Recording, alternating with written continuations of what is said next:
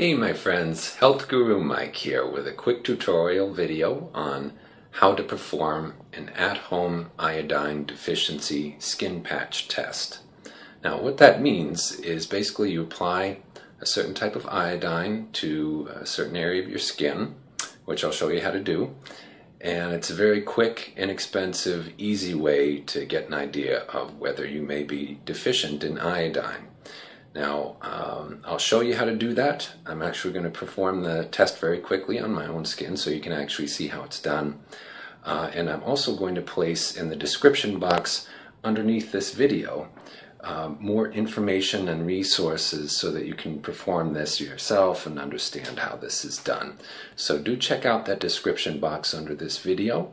And uh, if you do like this video, you know, click the thumbs up and subscribe to my channel for more free great health info like this. So let's get going. I'll show you how to do this.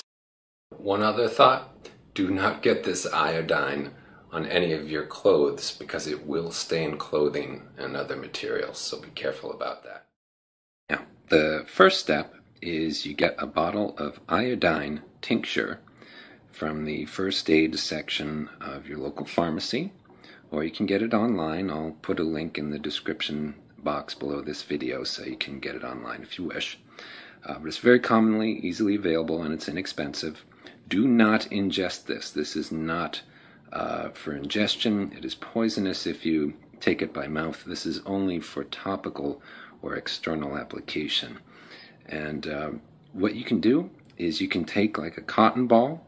Um, that's how I'm going to do this. And uh, you just dip the cotton ball in this iodine tincture, uh, which is orange in color. So this may, this test may actually work better on people with light colored skin like myself. So my apologies to those of you who have very dark skin. This test may not work quite as well. Um, but uh, let me proceed here and I'll show you the rest.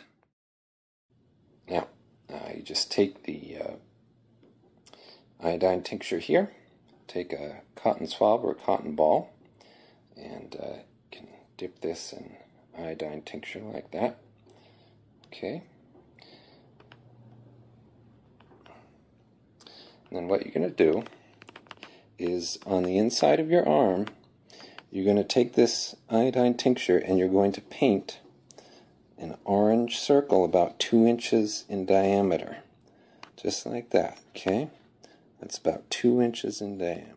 Now, if this uh, orange stain disappears within an hour, um, that's an indication that you're deficient in iodine because your body is soaking up this iodine from the surface of your skin. Whereas if this uh, yellow or orange stain remains on your skin and is still visible after about four hours, that may be an indication that you have adequate iodine in your body and are not deficient. Now, this test is not uh, 100% accurate. Uh, the tests that your physician could do in the office uh, would be more accurate, but this is a very uh, quick, inexpensive iodine deficiency skin patch test that you can do at home. I hope this has been of help to you. Again, please do check out the description box under this video for more information and resources.